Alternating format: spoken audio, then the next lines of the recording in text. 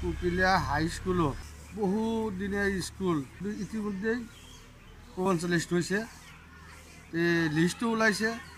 তাৰ কাৰণে মই অসম চৰকাৰক ধন্যবাদ জনাইছোঁ। কিন্তু এটা দুখৰ বিষয় আজি যাবতো তিনি বছৰ হয়। এই তিনি বছৰৰ মাজত মজদুৰ ৰহমান আমি জানামতে কুমুদিয়ে ৰিজলিউশ্যন কৰি তাক হেডমাষ্টাৰৰ দায়িত্ব দিছে।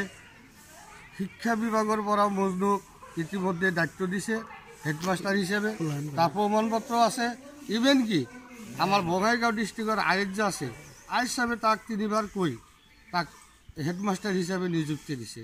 কিন্তু যিটো নেকি লিষ্ট ওলাইছে এই লিষ্টৰ মাজত আমাৰ মজনুৰ ৰহমান ছাৰ হেডমাষ্টাৰ হিচাপে তাৰ নাম নাই।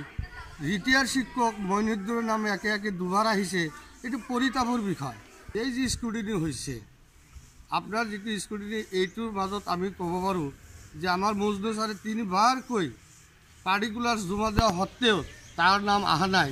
তাৰ অৰ্থ এইটো বুজায় যে স্কুটিনি এটা বিজ্ঞাপনা অসম চৰকাৰৰ কৰ্মচাৰীৰ এইটো গাফিলতি গতিকে মই অসম চৰকাৰৰ মাননীয় শিক্ষামন্ত্ৰী হিমন্ত বিশ্ব শৰ্মা ডাঙৰীয়ালৈ মই অনুৰোধ জনাইছোঁ যে ই অতি শীঘ্ৰে বিভাগীয় কৰ্তৃপক্ষৰ পৰা মজদুৰ ছাৰৰ নাম যাতে অতি পলমে ৰিলিজ কৰি দিয়ে তাৰ কাৰণে আমি সচেতন ৰাইজৰ পৰা এই অনুৰোধ জনাইছোঁ।